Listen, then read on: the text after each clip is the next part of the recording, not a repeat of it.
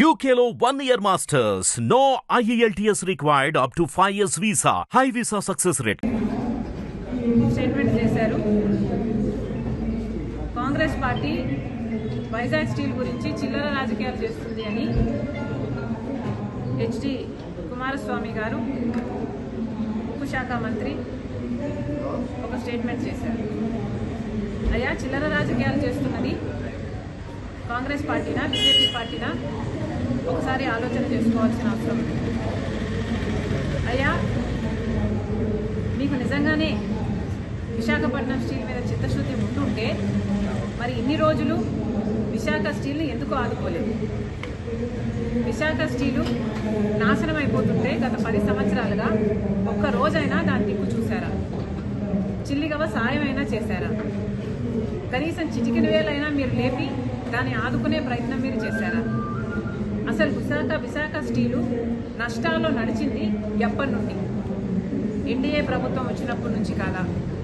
UPA ప్రభుత్వం నడిచినంత కాలము లాభాల్లోనే నడిచింది విశాఖ స్టీల్. సంవత్సరం సంవత్సరము లాభాలే చూపింది. ఆఖరికి యూపీఏ టూ థౌజండ్ ఫోర్టీన్ వరకు కూడా విశాఖ స్టీల్ లాభాలు పన్నెండు వేల కోట్లయితే తీరా ఎన్డీఏ ప్రభుత్వం వచ్చినాక దాన్ని అన్ని విధాలుగా దాని చేతులు కాళ్ళు నరికే ప్రయత్నం చేస్తే ఈరోజు ఇరవై మూడు వేల కోట్లు నష్టాలలో ఉంది విశాఖ స్టీల్. మరి చిల్లర రాజకీయాలు ఎవరు చేస్తున్నారు? విశాఖ స్టీల్ని ఆదుకోకపో ఆదుకోకుండా చిల్లర రాజకీయాలు చేస్తున్నది మీరు కాదని అడుగుతున్నారు నాలుగు వేల రెండు వందల మందిని ఉద్యోగాల నుంచి తీసేస్తే మేము హుటాహుటిన ఉరుక్కుంటూ వెళ్ళి మేము నిరాహార దీక్ష చేస్తామని బెదిరిస్తే కదా మీరు దిగొచ్చింది? వాళ్ళకి మళ్ళా ఉద్యోగాలు ఇచ్చింది?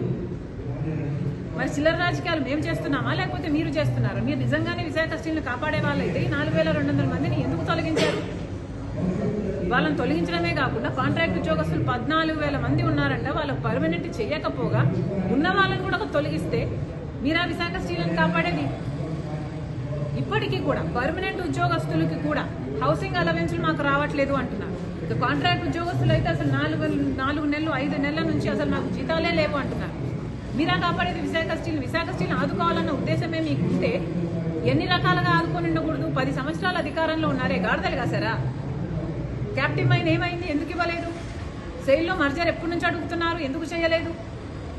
కనీసం ఎలక్ట్రిసిటీ కోసం కోల్ సరఫరా కూడా కనీసం మీరు సాయం చేశారా?